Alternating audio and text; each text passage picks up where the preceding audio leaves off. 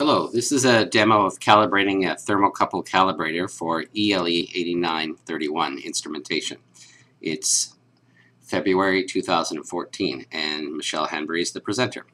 So to begin with, I'm going to show you this thermocouple transmitter. We've got it hooked up so that the uh, negative and positive of the power supply go through this current loop. It's going through a 250 ohm resistor so that when it is calibrated we'll get 1 to 5 volts. On the other end I've got the positive and negative of the sensor connected to a thermocouple calibrator. The idea behind this thermocouple calibrator is that it will output the millivolts, microvolts, as if a real thermocouple were connected to this device. Now since our transmitter has a range of uh, 0 to 300, it's a K3, I have to make sure the calibrator is set for type K and degrees Fahrenheit. And you do that by pressing the shift button. So for example, if I want to change it to Celsius, I do shift, Celsius. I'm going to change the type, shift, hit the button until I've got the right type. I'm going to go back to K, shift to get out of that mode, and then back into Fahrenheit. Okay, so we've got everything that we need here. Now to begin with, I want to show you that the calibrator is at 0 degrees Fahrenheit and we're reading 0.7 volts, 0.7 volts. Now to find out what current that represents, divide it by 250 ohms, sorry, and that's going to give me 0.7 divided by 250, 2.8 milliamps. Okay, so my current for my minimum is too low, so we're going to have to adjust the span clockwise. Now if I go to the maximum temperature, hit enter, my voltage is 5.53. And if we divide that by 250, that gives us 22 milliamps. So our span is too wide because it should be 16 and we're over that. So span is too wide and the zero is too low. So we're going to adjust the zero clockwise and the span counterclockwise to fix it. Now don't forget, it's going to take more than one try to get this right. So let's just give this a try. So back to zero, because that's what you have to adjust first. And zero, I'm getting 0.7, but I should get one, because 4 milliamps going through a 250 ohm resistor should give me 1 volt. So I'm going to adjust the zero, and we'll watch the meter. And we said we have to turn it clockwise. I'm going clockwise, and I just want to get very close first, because I know I'm going to have to go back. So there's no sense being perfect. And then we go to 300. Enter. And we're way too high there. And so we're going to go counterclockwise because we were too wide. Watching the meter. And it's a 10 turn pot, so you have to turn it quite a bit. And we just have to get close until we're, we're close on both sides. So back to zero. So too low. And every time we make an adjustment, it affects the other less and less. So we want to get closer each time we do this. So 1, 300. Didn't change by much, but we still have to make a change. We're getting close. Okay, that's 5, 0. That didn't change as much this time, so we're going to try to get it closer back to 300. Ooh, very close. Sometimes I find it hard to get the screwdriver right in the correct position. So 5 volts at 300 and back to 0. Ooh, I don't think I'll get much closer than that. So realize this is 5 off out of 995 uh, millivolts. So better than 1%. That, that's good enough. So 300 again, just to double check it. 5 volts, 0. Now, what it, should it be halfway? So if we have 0 to 300, halfway is 150 degrees, and that should give us 3 volts. Let's just try that out. So 150 degrees, Pretty close. Okay. Realize that we're two off out of 300. So that's still better than 1%. Let's go to 75. That should give us 2 volts.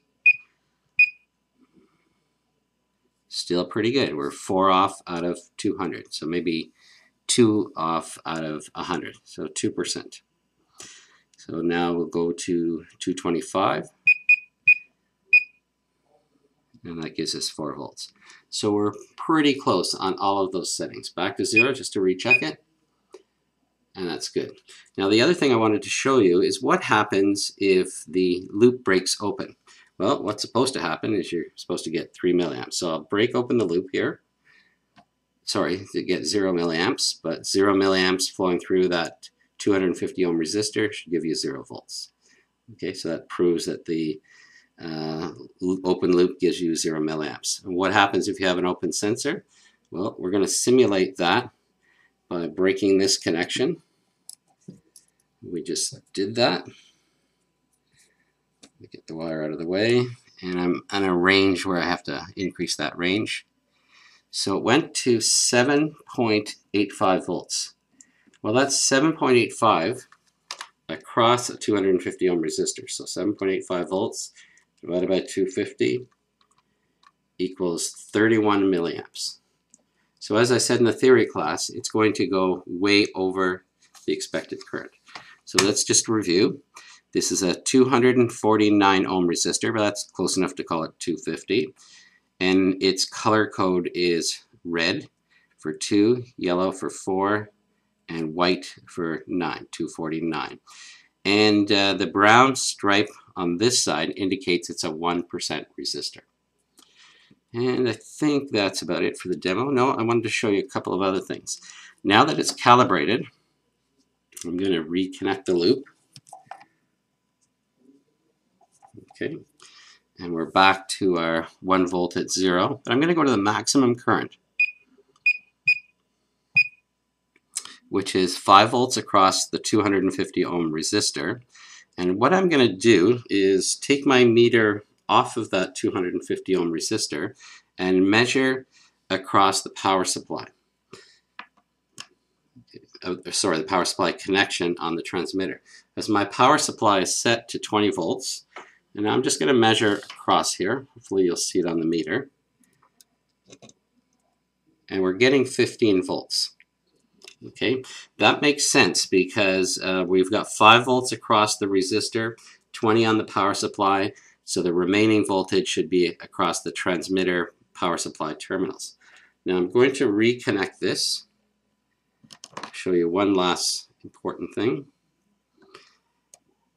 Okay, so my output is at 5 volts right now at 300 degrees. And I'm going to, this part you're not going to see, but you'll have to trust what I'm doing here. Um, and I'm, well, I, I can actually uh, do this by, I could do it by having two meters, but I only have one. So I'm increasing, increasing the power supply to 25 volts. Okay, what happened to my uh, voltage across the resistor? It didn't change, and that's approximately 25. But what's going to happen is that across the transmitter, kind of hard to do this without blocking the meter, but we have uh, about 20 20 volts across the transmitter now. And that's because with the voltage drop is still 5 volts across the resistor.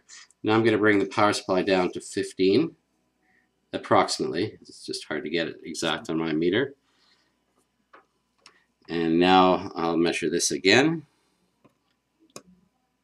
And we're getting about 10 volts, okay, 15 minus the 5. But now when we reconnect this,